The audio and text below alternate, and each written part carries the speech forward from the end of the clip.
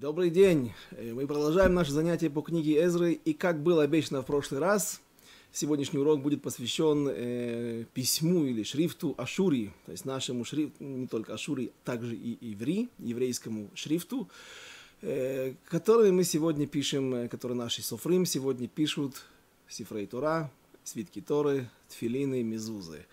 И, но и не только это, об этом мы сегодня будем говорить откуда, почему, как мы касаемся этой темы, как она имеет отношение, какое, какое отношение к нам имеет эта тема.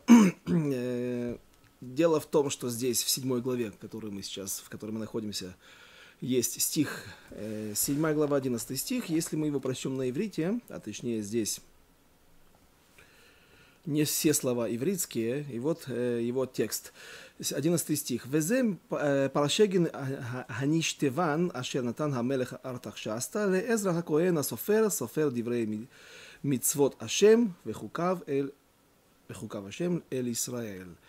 А вот перевод. А вот содержание послания, которое дал царь Артахшаста Эзре – священнику писцу, который писал, обучал словам заповедей Господних и постановлений его, данных Израилю.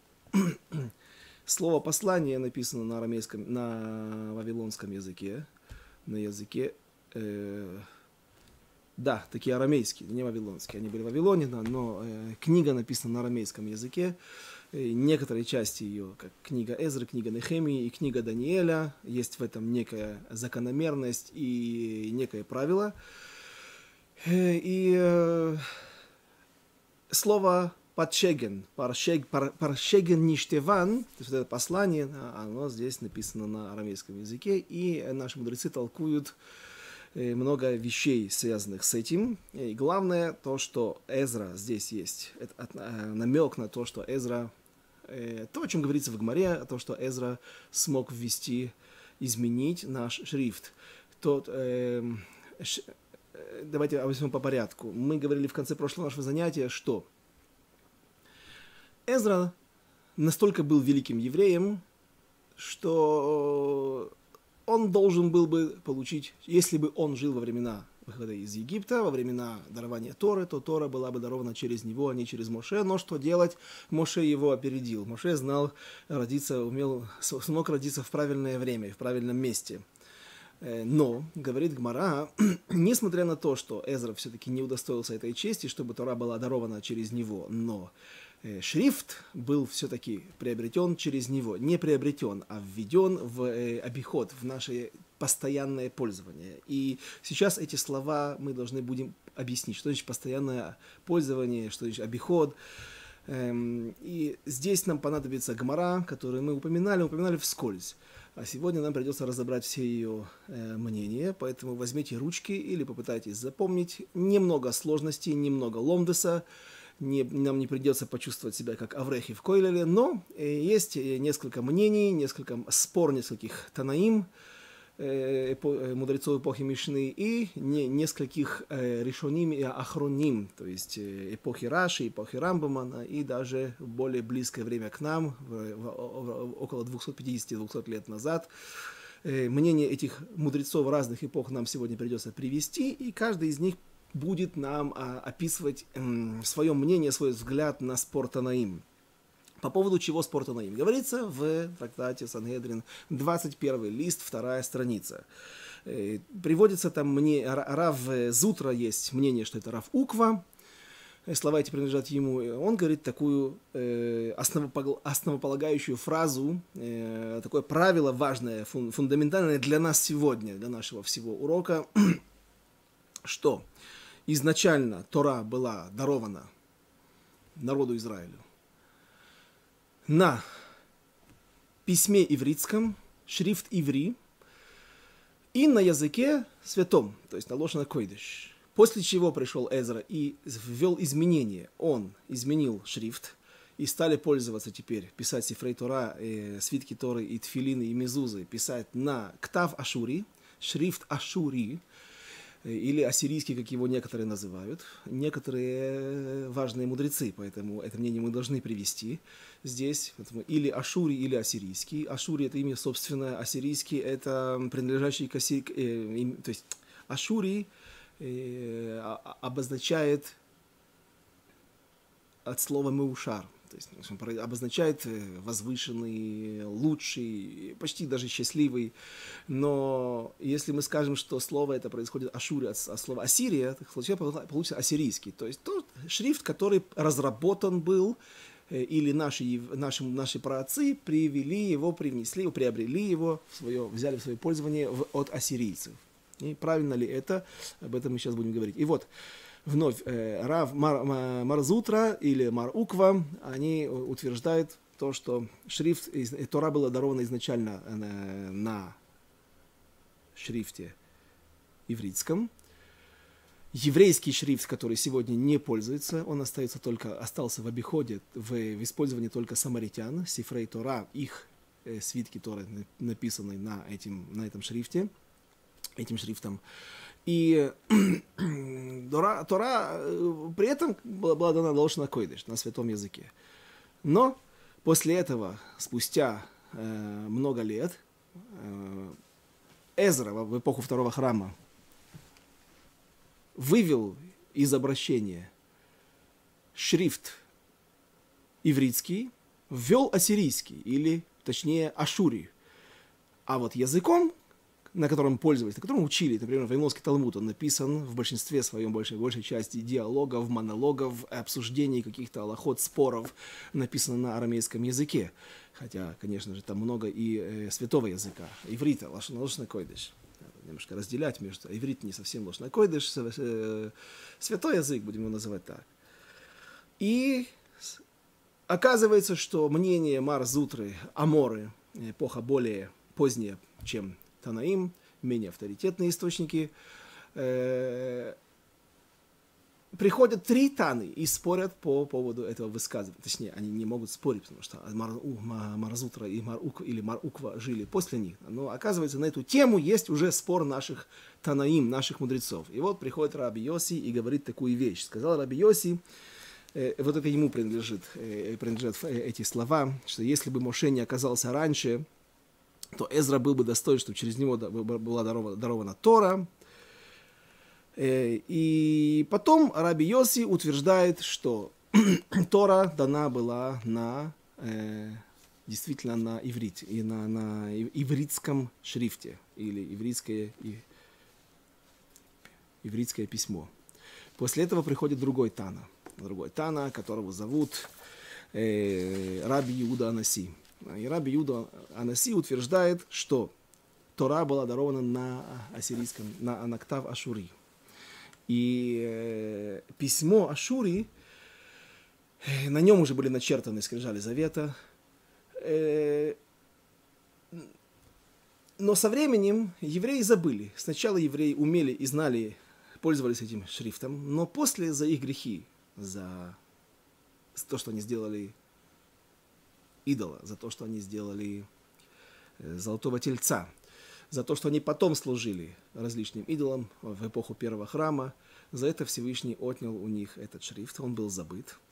И после он, а, Творец вернул нам его, после того, когда евреи раскаялись в своих грехах, когда евреи вновь вернулись в Святую Землю, чтобы возводить второй храм, чтобы строить второй храм, тогда Всевышний вернул нам, и как э, нам, нам этот шрифт и вот э, что сказано э, о нем в книге Захария, в книге пророка Захария говорится, «Возвращайтесь в крепость узники надежды, и сегодня я возвещ... э, возвещаю, вдвойне верну тебе». Что значит «вдвойне верну тебе»? Вот говорят, что здесь закодирован, находится этот намек на то, что э, будет возвращено евреям право пользоваться ктав Ашури, шрифт Ашури, Э, а текст сам, если прочитать на иврите, Шуву Левицарон, то есть возвращайтесь в крепость, Асирей Тиква, Гамайом Магит Мишне Ашув Леха Мишне, вдвое, и также есть стих истории, там также говорится Мишне Тора, а слово Мишне, оно не только означает второе или повторение, а Мишне это также и Шоне, то есть э, изменяющийся, то есть э, мы, мы повторно, вновь да, что-то делаем, какое-то действие. А с Мишне, говорят, Мишне Тора, Тора, которая имеет право лишь танот, Тора, которая может измениться, но не, не дай Бог, прав, неправильно понимать эти слова, что Тору может, Тора может менять некоторые законы. А некоторые вещи внутри этого, внутри наших законов могут измениться, например, вот чем, каким шрифтом пользоваться. И и третье мнение это Раби Лазара Мадаи, который говорит, да ничего подобного, никогда шрифт Ашури не менялся и не забывался. Всегда Тора была изначально дарована только на э, э, шрифт Ашури и на святом языке. А что произошло? Дело в том, что... И вот здесь вот у нас много мнений. Здесь по этому поводу много мнений. И теперь давайте посмотрим, как, как относится к этому спору, тройственному спору. Раби, великих Танаим, раби Йоси, раби Юда Наси, раби Лазара Мадаи, Э, как относится, как, на него, как, как его понимают, как его учат наши э, другие мудрецы. И вот Сабураим, э, или точнее Гаоним. Гаоним это эпоха приблизительно сто лет длившаяся после Амураим, после Вавилонского Талмуда. А есть мнение, что некоторые, уч... но, не, не, не, некоторые великие евреи, некоторые великие мудрецы, которые упоминаются в Талмуде, они уже считались даже не Амураим, а Гаоним. Так вот, Геоним э, принимает мнение Раби Йоси, который считает, что Тора была дарована нам изначально. То есть вот те скрижали завета первые, которые были э, даны Всевышним э, на горе Сина и Моше, уже на них тогда было начертано э, Бектав Ашури. То, и, простите, Бектав Иври, то есть ивритским шрифтом. Э, мы постоянно говорим о нем уже сегодня, но не знаю, если все понимают, что это такое. Э, многие удивятся, сегодня нам придется, я сделал кое-какие здесь подго- заготовки, мы увидим некоторые буквы из этого шрифта, и, но я думаю, что тот, кто живет в Израиле, кто-то бывал в Израиле, если у него остался шекель в кармане, то пусть вытащит сейчас и попробует посмотреть, что там написано на шекеле, на самой, э, на, на, на, на маленькой монете этой. Э, там написано три буквы, слово из трех букв э, на, на именно шрифтом Ашури. Ну, он очень красиво сделанный, на самом деле, в тех артефактах, в тех древних находках, и монетах, печатях и, и других каких-то и, археологических находках, там, где находят этот шрифт, конечно, он не всегда такой красивый. Есть таблицы, их можно легко найти в Википедии или в других энциклопедиях. И, э, в общем, шрифт не очень приятный на внешний вид, достаточно некрасивый, я бы даже его так назвал. А, знаете, этими шрифтами пользовались все народы э, Ближнего Востока. Э, очень близкий по написанию финикийский. А финикийцы, как известно, жили в, э, на юге Ливана. Ну, э, в Ливане жили Цидон, Цор, все эти знаменитые города, которые описаны в наших летописях, в, в наших книгах, в, наших, эм, в книге Мелахим очень часто царей упоминаются эти города и эти народы. В книге пророка Ишаяу много пророчеств о Цор и Цидон, великих городах, торговых центрах и людях, какие, которые были, как правило, наши не евреи, которые были наши соседи близкие, которые, как правило, были в хороших отношениях. И всем известен, конечно же, царь, царь Хирам, который был э, главой города Цора, и он был тогда островом еще. Э, сегодня это полуостров, древняя его часть Ира Атика. И он даже поставлял сначала царю Соломону, а любил царя Давида, сказано, был с ним в хороших отношениях, и поставлял также и царю Соломону кедры для строительства несущих конструкций в первом храме. Э, Так вот, на все, э, финикийский шрифт, он также очень близок к шрифту иври. А если вы пытаетесь прочитать, что-то написано на монете, это и на шекеле, там написано совсем не шекель, как многие подумают, как я подумал, а когда попытался сравнить таблицы и найти похожие буквы э, на, на, на те, которые написаны, там одна нижняя похожа на букву Z вообще, английскую. Э, есть одна буква, подобная букве F, английской, только в другую сторону, и вместо двух рисок есть одна планка, три, три планки, одна дополнительная планка, которая отходит в противоположную сторону. И, в общем, там написано Ягуд. Буква Юд, Гей и Далит.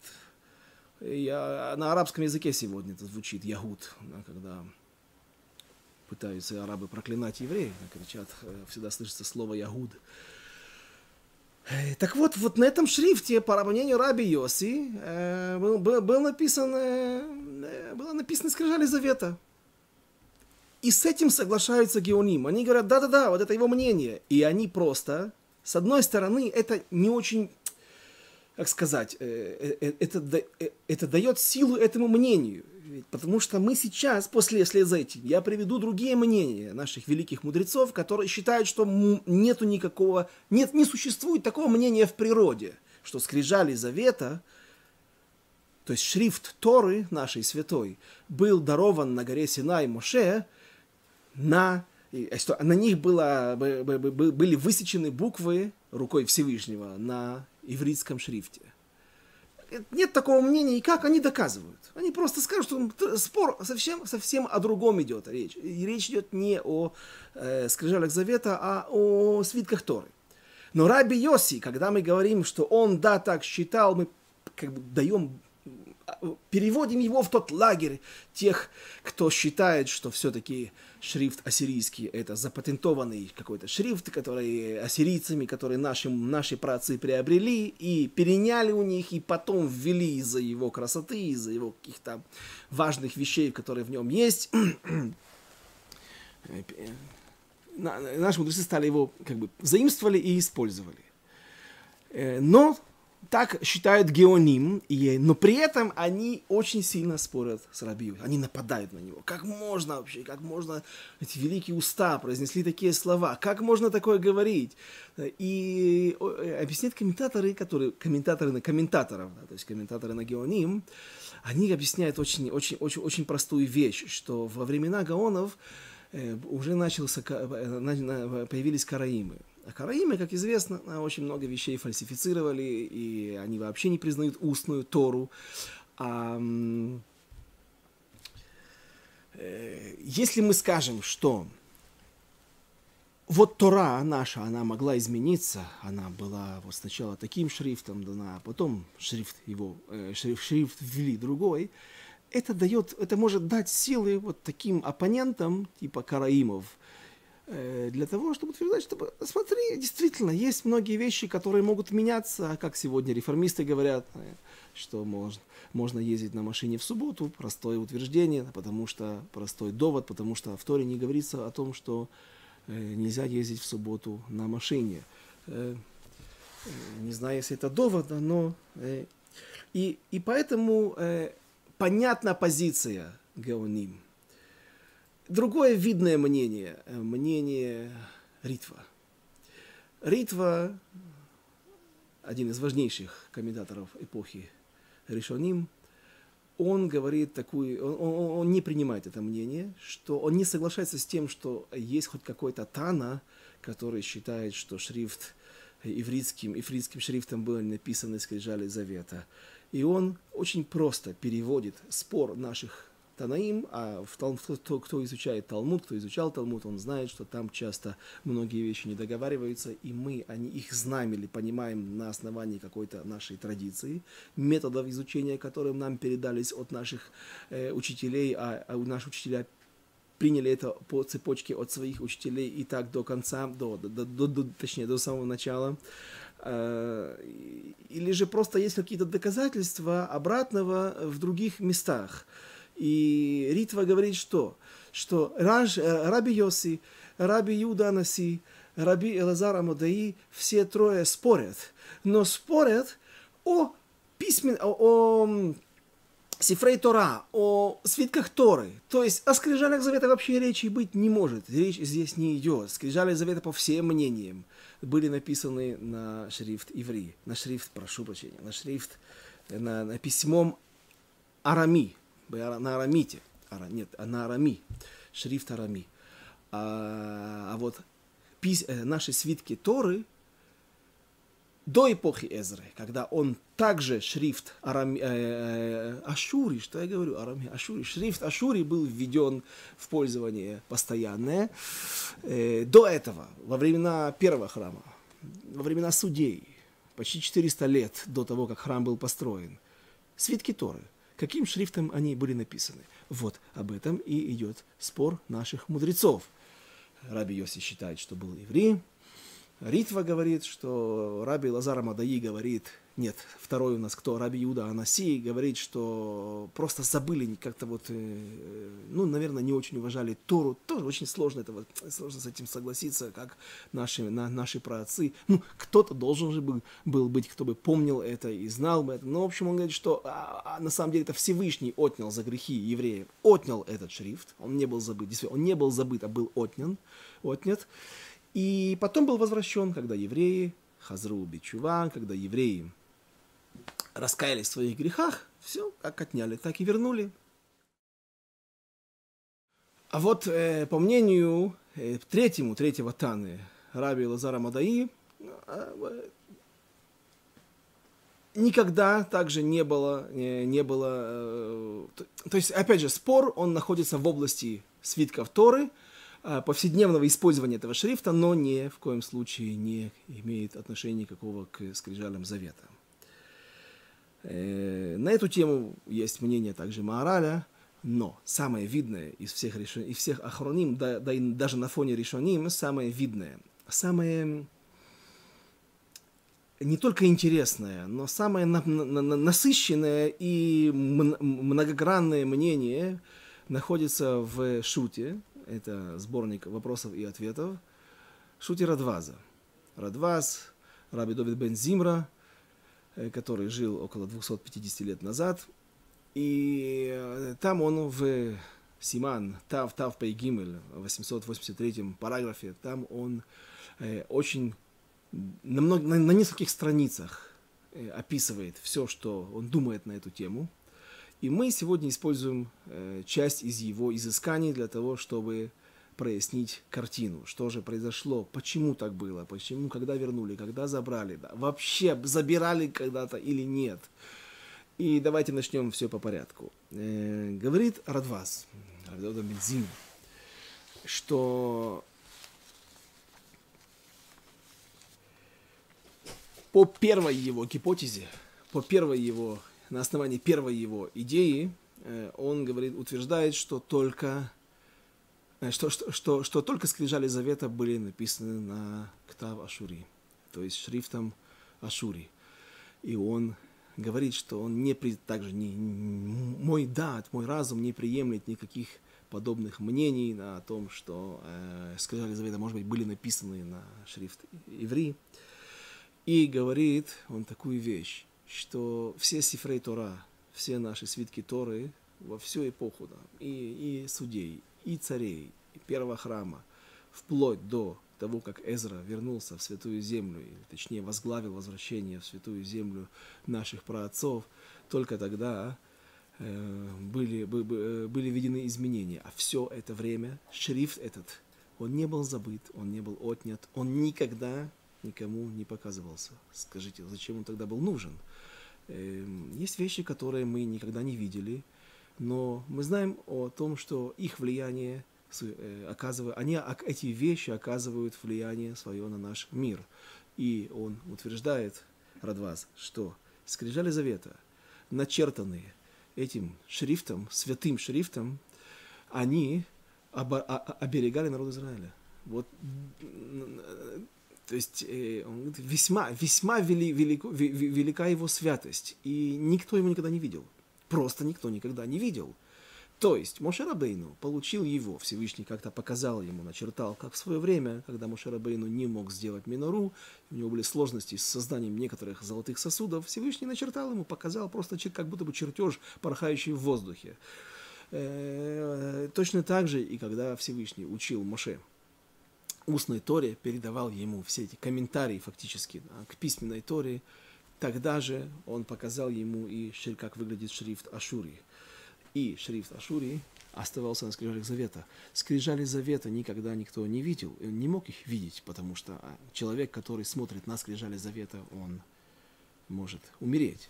Так описывается в книге э, Шмуэля, когда ковчег завета пробыл семь, а, как мы там, смотрите, там тот урок на эту тему, а когда, по, по, по, по, по, по, по другому мнению, 11 месяцев, а не так, как это написано в тексте, он пробыл и вернулся в Святую Землю, то первый город, который, к которому пришел ковчег Завета, отпущенный, отправленный на повозке, запряженной дойными коровами, пришел в город Бейчемеш. И написано там, что и увидели а в это время Бейчемеш, э, жители Бейчемеша занимаются жатвой. И когда они увидели, что ковчег завета вернулся, сказано там «Воисме хулерот». И обрадовались, увиденному можно перевести это так.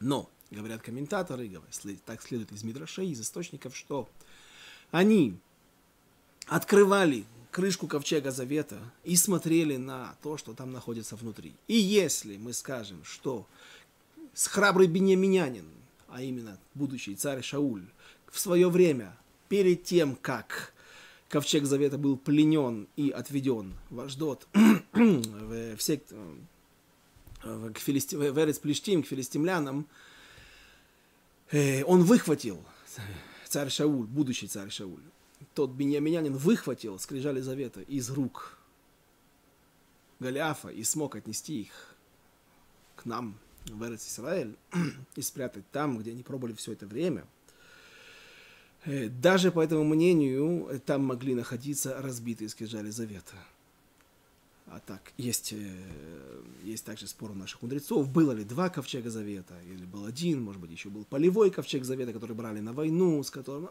Это тоже спор, о котором мы сегодня не будем говорить, потому что не наша тема. Так вот, э, Лухота Брит, Вешиврей Лухота Брит, скрижали завета и разбитые скрижали завета, первые, также находились в этом ковчеге, поэтому евреи могли видеть ковчег вместе с теми святыми буквами святого шрифта Ашури, которыми были, э, который, который находился на этих разбитых скрижалях завета. И за это были наказаны евреи, и там погибло 70 тысяч человек. 70 тысяч человек погибло за то, что они с таким пренебрежением относились и смотрели на скрижали завета, и, возможно, на этот шрифт. Э, говорит Радваз, продолжаем э, эти съемки. Если этот шрифт столь свят. Что повлияло на, что дало право Эзре вдруг вывести его из-под грифа совершенно секретно.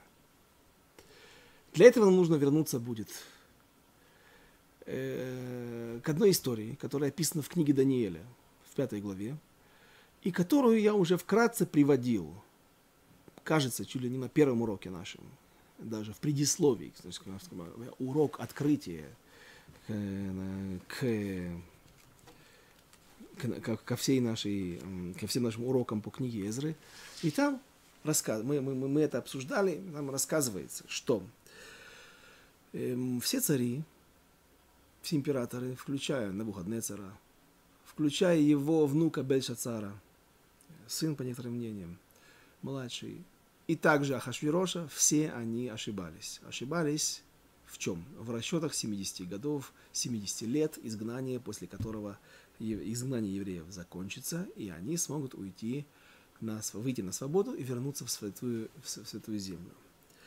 И э, Навуходнецер ошибочно считал, отчитывал эти 70 лет от начала завоевания Иудеи, то есть когда Иудея потеряла независимость, но еще 18 лет после этого при власти царя Навуходнецера иудейские цари в Иерусалимском храме приносили жертвоприношения.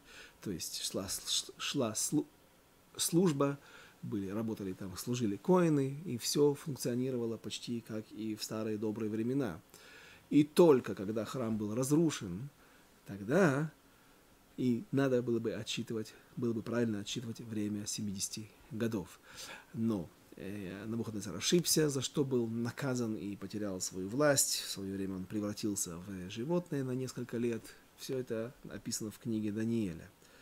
Также ошибся и его сын или его внук Бельшацар, последний из трех императоров вавилонских, на, на котором и заканчивается, с которым заканчивается вся история древнего Вавилона, короткая, но э, интересная, с которой связано и много нашей истории еврейской. И Бельшацар, зная пророчество пророка Ермияу, также у Ихескеля есть упоминание об этих 70 годах,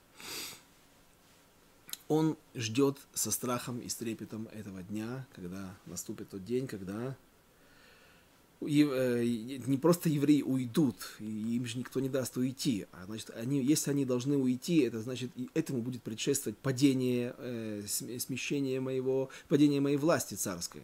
И действительно, в тот день, по его неправильным расчетам, произошло сражение. Персы, которые являлись частью его империи, были вассалами Вавилона, подняли бунт, пришли с огромной армией и подошли к городу Вавилону, к его, где-то к его окрестностям. И в тот день Бельшацар смог разбить их армию. И вот их армия персов находилась где-то со своим станом поодаль, те, кто остались в живых.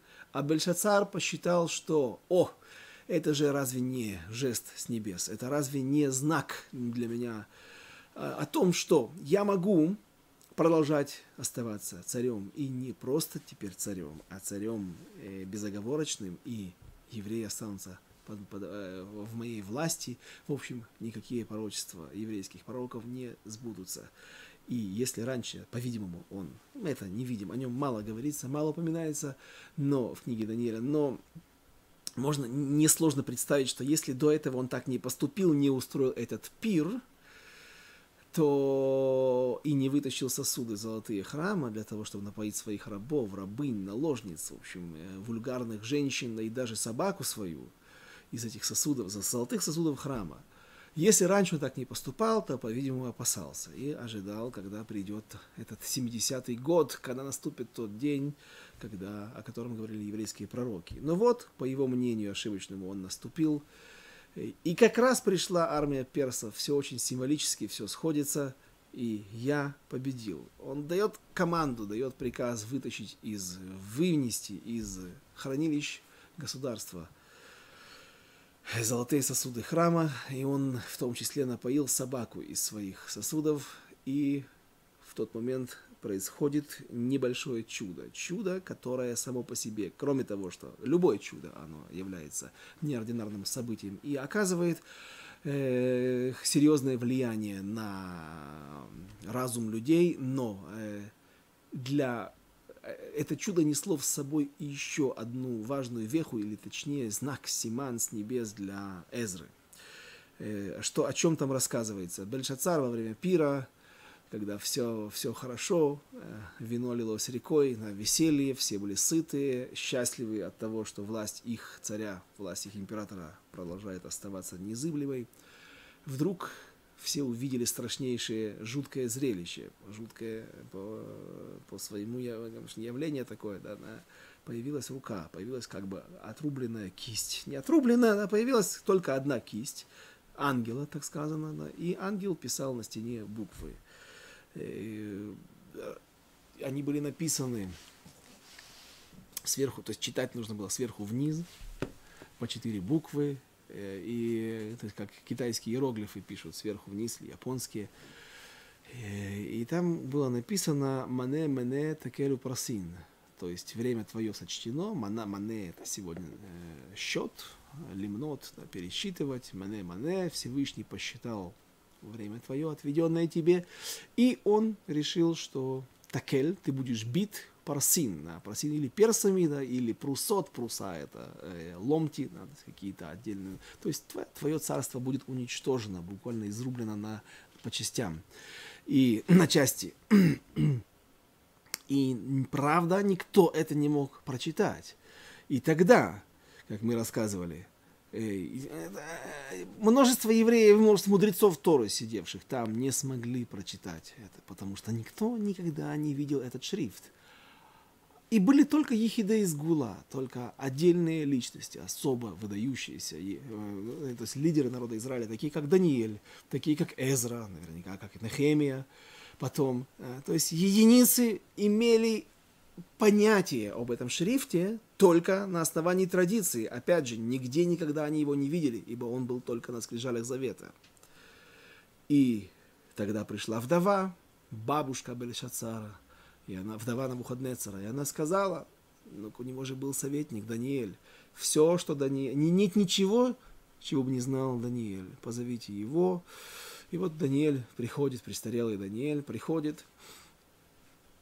И, разумеется, он расшифровывает это послание, объясняет. Единственное, что он скрывает от царя Бельшицара, тот факт, что также ему было указано, или он понял из этого послания, что это сегодня, ночью, он закончит свою жизнь, его будут, ему, его убьют, и на этом и закончится персидская, то есть не вавилонская э, история древнего великого Вавилона.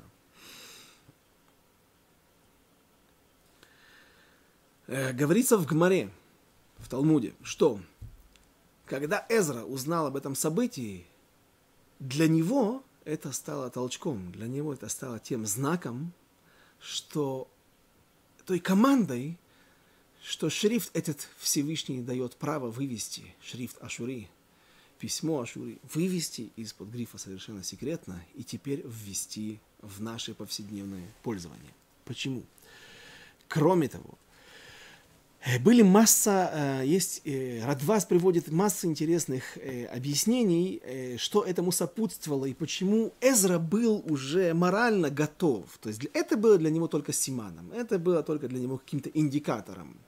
Но что, какая обстановка, какие факты из их жизни, они повлияли также на него, что он уже был готов к этому.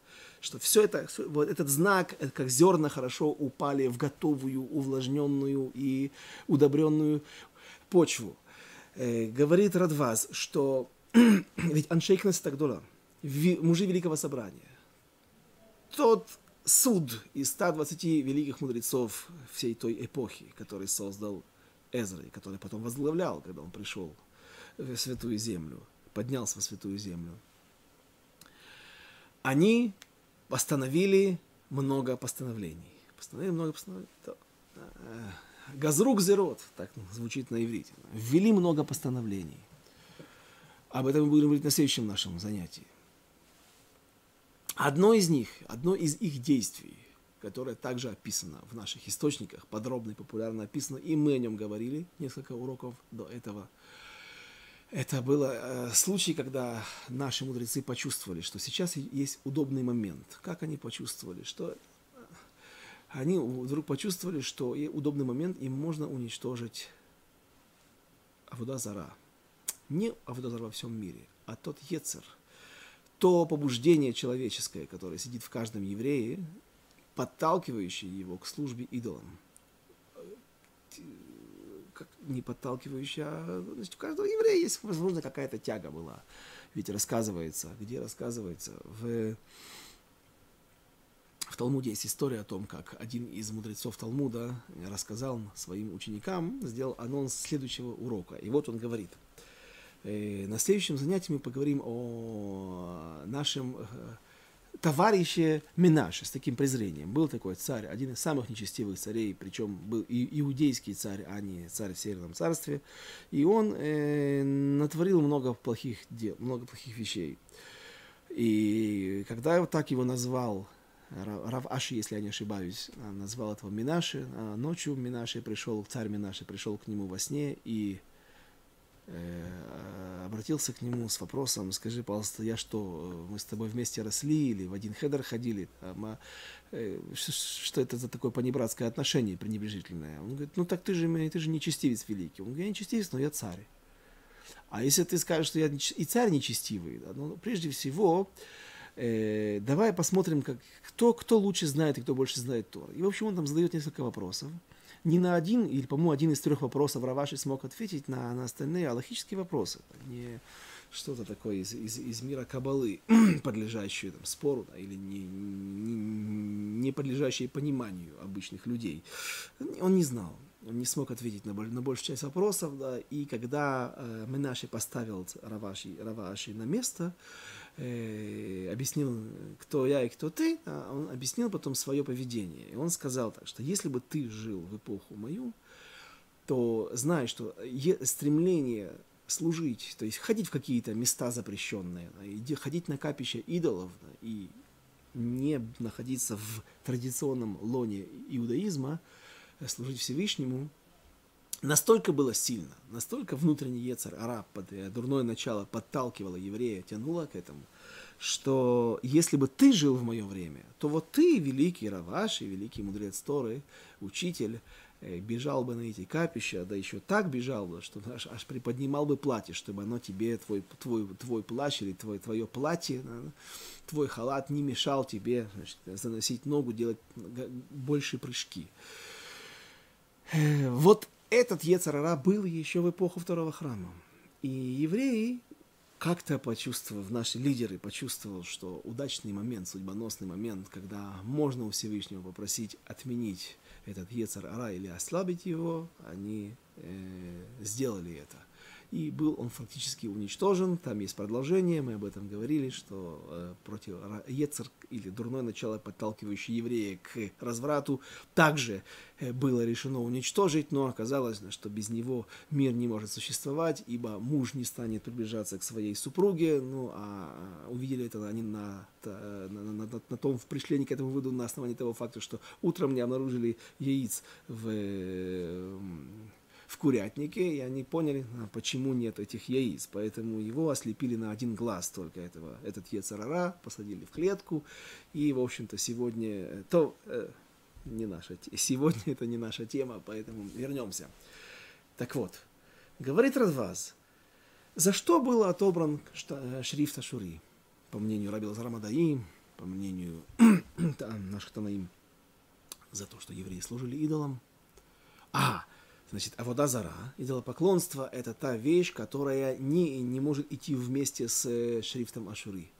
И поэтому он был куда-то, э, он был отнят у нас. Причем Радвас по, по, по второй гипотезе он утверждает, что вторые скрижали завета уже были написаны шрифтом а иври, а не шрифт Ашуры. Только первые, те, которые были написаны божественной рукой, только они были написаны шрифт Ашуры. За что? За что отняли? Мойша спускается с этими скрижалями, написанными на, на, на письмом Аш, Ашури, но вдруг, э, что он видит, что они сделали золотого тельца. Поэтому он их бросает, или точнее, его сил не хватило, чтобы удержать, потому что они вдруг потеряли свою ту божественность, да, и э, они разбились из-за грехов народа Израиля. Теперь говорит Эзра, если мы сейчас уничтожен, если уничтожен корень зла, если не всего зла, а вот та область, которая была ответственна у Ецера, та область у Ецерара, которая была ответственна за идолопоклонство. И сегодня уже нет у евреев такой тяги, и, соответственно, они не очень испачканы этими грехами. Есть сегодня, и сегодня люди, которые поклоняются современным идолам. Евреи – я говорю о евреях. Но большинство абсолютно, на, у них сегодня нет такого стремления поехать куда-то там в Индию, да, и поклоняться статуе Будды, да, или где находится самая большая статуя в мире вообще, да, по-моему, в Китае. Говорит Эзра, если Ецер Ара этот уничтожен, значит нет помехи, нет препоны, которая отделяет нас от Всевышнего и отделяет нас от шрифта Ашури. Поэтому этот шрифт теперь можно сегодня ввести. А, та рука, которая написала на стене, это тот индикатор, который мне подтверждает мои мысли, мои предположения. Еще одна вещь очень важная. Чтобы не слишком клеймить, как я сказал, мне не нравится этот, он с точки зрения каллиграфии, да, он не очень красивый, да, этот шрифт, шрифт иври, ивритский или еврейский, иврит акадом, э, масса у него названий, похоже на финикийский также. Э, и сказать что-то в его неоправдание, да, а в его а, похвалу э, в одной из книг Рав Эйнфельд э, написал книгу о шрифт Ашури и шрифт Иври, так он говорит такую, такую интересную вещь, что шрифт Иври, он имеет бхину, какой-то аспект или отношение к Тора, которая Тора Шебихтав, то есть письменной Торе. А вот шрифт Ашури, он уже имеет отношение к временам устной Торы. Но ведь письменная и устная Тора, они нераздельны. Это совершенно верно. Но известно, что распространение, особый взрыв и распространение вот этих волн по всему, по всем общинам еврейского народа, нашего народа, в, где, во всех драшот, во всех школах, где бы, во всех ешивах, где бы ни изучалось Тора, э, особое распространение его в мире на, и, устной Торы началось именно во времена Эзры, именно во времена второго храма. Пуримские события, все, все, вся вот эта вот эпоха, она как раз и э, э, э, отождествляется с временем, когда шрифт Ашури, и, точнее письменная Тора, стала более и более распространяться по миру. Ведь не было пророков. Раньше у тебя были проблемы, у тебя... Не, да не было проблем, не было вопросов, вот почему. Потому что если есть вопрос, да нажал кнопку, позвонил, то есть обратился к э, пророку, и он тебе все сказал. Последние три пророка, Хагай, Захария и Малахи, он же Эзра, да, умерли в, в, в эпоху второго храма. В начале причем, в первые, в, в, в первые несколько десятков лет, а храм-то простоял 420 лет второй.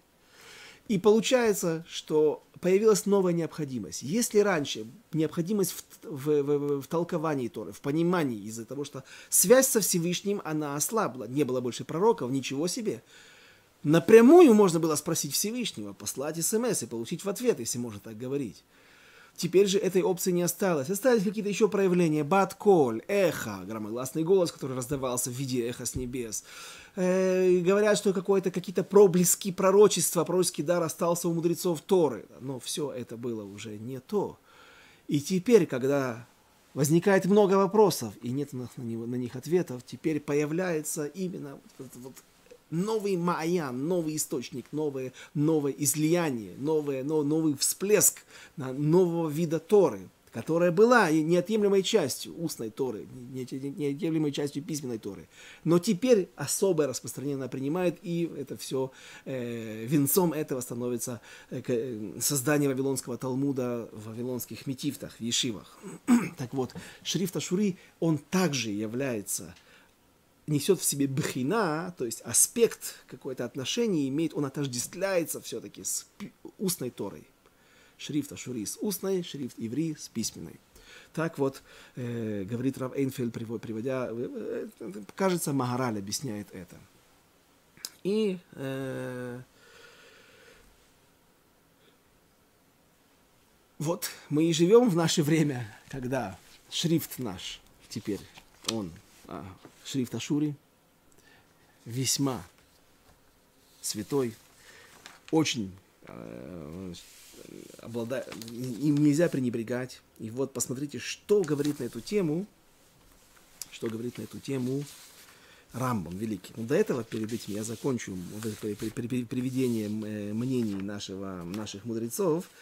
Э, или точнее доводов Радваза. Радваз, э, есть Равхия, Равхи, Равхиз, да, который говорит, что э, на скрижалях Завета буквы, которые были написаны, были две буквы, которые держались чудом. Почему чудом? Буквы были сквозные. Слово можно было прочитать с, обо, с обоих сторон. Только если ты перевернешь обратной стороной, это будет наоборот, на слово читаться. Но буквы были сквозные через все эти сапфировые плиты из драгоценного, из драгоценного камня сапфира. Э, если мы напишем букву Алиф, букву Бет, букву Гимель, буква эта, нет никакой проблемы сделать ее сквозной. Ну, просверлить дырочку. Но вот если мы напишем букву самых, которая вот такая, да, как ноль или как буква О русская, это получается внутренняя часть, она, ей не к чему прикрепиться ну, сегодня бы в пластиковой какой-нибудь игрушке, да, сделали бы какие-нибудь тоненькие такие каналы, да, не каналы, а усики, которые держат ее якобы в воздухе. Но тогда же, э, короче говоря, Раби, Равхизда говорит, две буквы, буква самых и буква мем, мем софит. Мы знаем, что конечная буква мем, которая ставится, напиш, пишется в конце слова, она закрытая, она как квадрат. Так вот, они держались чудом. То есть вот это вот получается такой цилиндрик внутри буквы самых, он должен был висеть в воздухе. И вот это было чудо. Соответственно, и тот же квадратик, почти квадратик, который должен был быть такой брусок э, квадратный в торце, он также висел чудом. Посмотрите, вот, пожалуйста, я пытался сделать из компьютера, из Википедии увеличить букву, но не получилось, расплывается, пришлось рисовать фломастером, извините за маркером, извините за, за, да. Это буква самых. Все понятно. Вот эта часть, она висела в воздухе. Все соответствует высказыванию Раби Хия. Буква Мем Софит. Шрифт Ашури. Пожалуйста, вот эта часть, она висела в воздухе, а здесь была дырочка. То, что черное, да, это была э, сквозная дырка, да, и можно было и отсюда также смотреть и видеть ее, только наоборот. Теперь возьмем шрифт Ашури. Я вам сейчас кое-что покажу, а вы мне ответьте. Да? Какая это буква? Да? Спрашивают телезрители, отвечают знатоки. Да, пожалуйста. Вот я сегодня в Койлеле перед уроком показал вот эту картинку. Спросил людей, скажи, пожалуйста, что тебе это напоминает? Вот, один мне сказал, э, мне это напоминает э, антенну. Это самое распространенное мнение. Другой Аврек даже сказал, он мне сказал, мне это напоминает погост. Да, вот на кладбище ветер свищет. Ну, не совсем, но теперь, вот это, это в шрифте Ашури, да, приблизительно только это, это аккуратно сделано. Есть очень много видов, э, каких-то артефактов, находов, какие-то печати, каких-то монет, да, где эти буквы по-разному выглядят. Но вот это вот ее классический вид. Так это вот и есть буква самих. Это буква самых на Ашурит. Она в воздухе висеть не должна была. Она бы, если бы, не дай бог, на ней было начертано скрижали завета, то ее спокойно можно было сделать также сквозной, но без чуда. А вот буква, а что это такое? Это буква мем, мем софит. Тоже, ну никак, да, не нужно ей висеть а вот, вот что, если, вот если бы и нужно было бы чему-то, что бы могло висеть, так это буква, значит, это буква, нет, не самых, и не О, и не ноль, это буква Айн. В, в, шрифт Ашури вот это вот называется буква Айн. Причем это, э, я, я специально так нарисовал, так, так написано в таблицах, она даже не, не ровная, вот именно вот такая овальная, не, не, ну, ну никак, пора Хизда никак не проходит, чтобы за это могли быть написаны таким шрифтом. Это одно из кричащих доказательств, которые приводит Гмара. а теперь просто прочитаем, э, прочитаем мнение наших, ну, самых, самой тяжелой артиллерии эпохи Решоним Рамбам. Рамбам в двух местах говорит о шрифте Ашуры. И вот где он говорит об этом. В трактате Мо, э, в трактате Ядаим есть такой трактат где есть Мишны, но нет Гмары на это. Это одна, и один, из, один из трактатов э, Мишнайот Вавилонского Талмуда. Не, не Вавилонского Талмуда, трактат Мишнайот. Говорится так. Эм, Ядаим, глава 4, Мишна 5. Шрифт иври – это шрифт, на котором пишут самаритяне. Свои свитки Торы.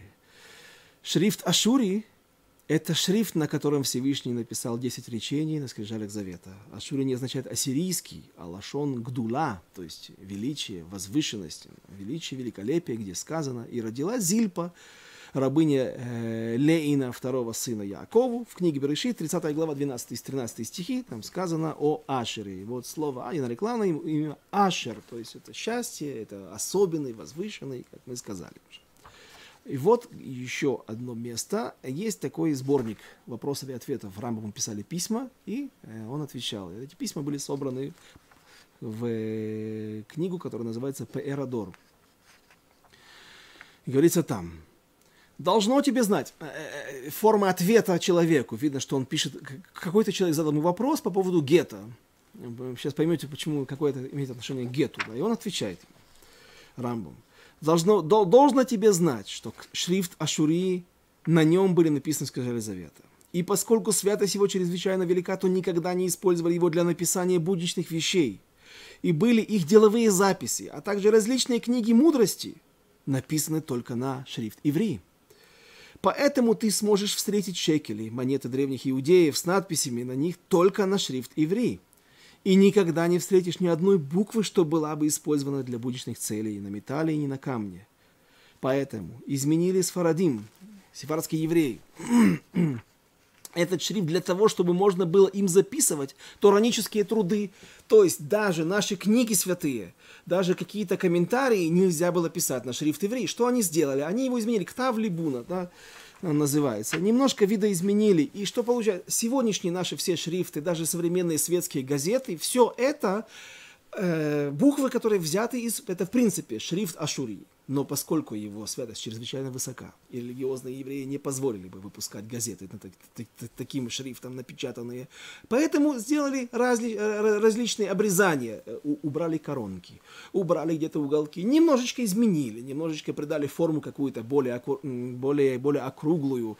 И, и шрифт Раши у Ашкиназим. Раши оказывается, не, не, не изобрел этот шрифт для того, чтобы ему... Так, так когда-то я слышал такое мнение дилетантское, да, чтобы ему было удобнее писать быстрее.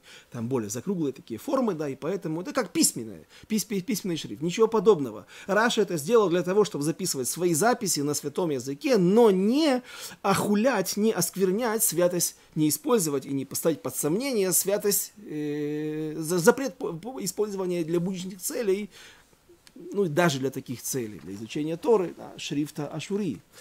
Закончим э, слова, слова Рамбама.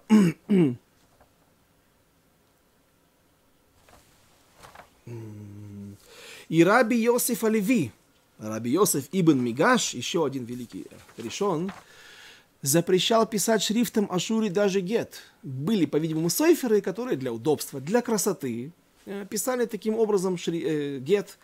И когда Софрим вновь начали писать гет на Ашури, то вновь запретил это, вновь вышел против этого. Как можно пользоваться божественным шрифтом? Ведь так легко можно прийти к пренебрежительному отношению к нему. Когда гет будет брошен в шкаф и там забыт. Вот даже это называется пренебрежительное отношение. Это не пользуешься.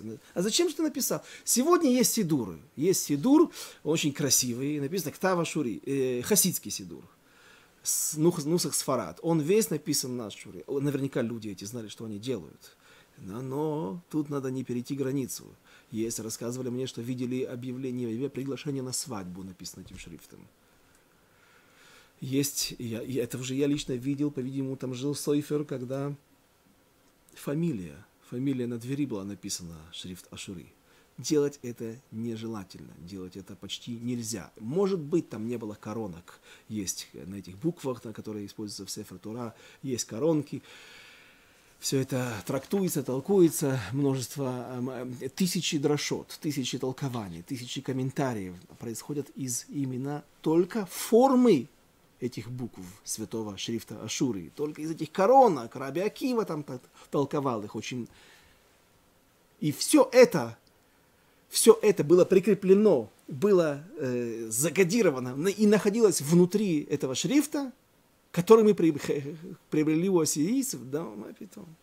Разве можно говорить? Мы уже видим, что никто с ним не соглашается и даже слышать не хочет это.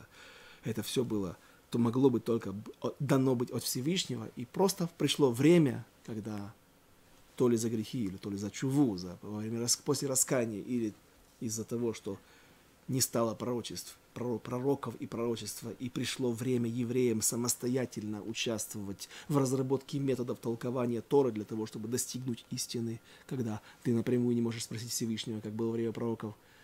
Тогда все вместе это стало причиной, которая побудила к тому, что шрифт был этот введен в наше повседневное пользование только в трех случаях.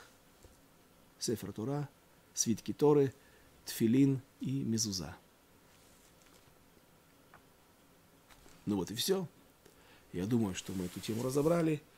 Надеюсь, что было не слишком сложно, и теперь мы можем иметь кое-какое представление о все, что связано с шрифтом Ашури и Байзрат Ашем.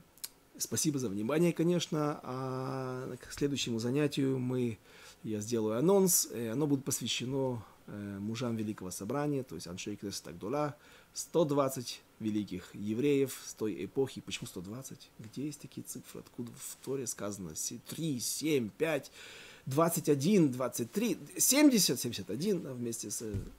Откуда 120? Кто в него входил? Чем они занимались? И после этого их основные постановления, их гзерот. Об этом всем поговорим в следующий раз. Без Раташем. Спасибо за внимание. До свидания. До следующих встреч.